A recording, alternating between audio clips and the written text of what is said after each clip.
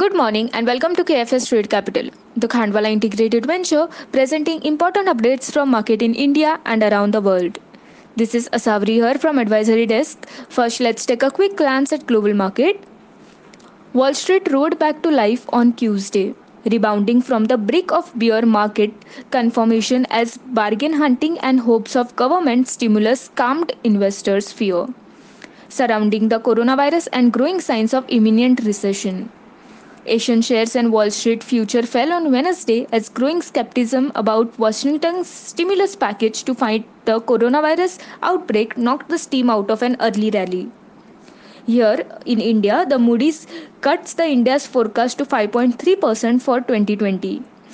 Trends on SGX Nifty indicate negative opening for broader index in India with a loss of 87 points. Nifty futures were trading around 10,428 level on Singaporean exchange. Rupee slips past 74 against USD on weak equities, coronavirus led slowdown fear. While oil prices jumps over 8% on Tuesday.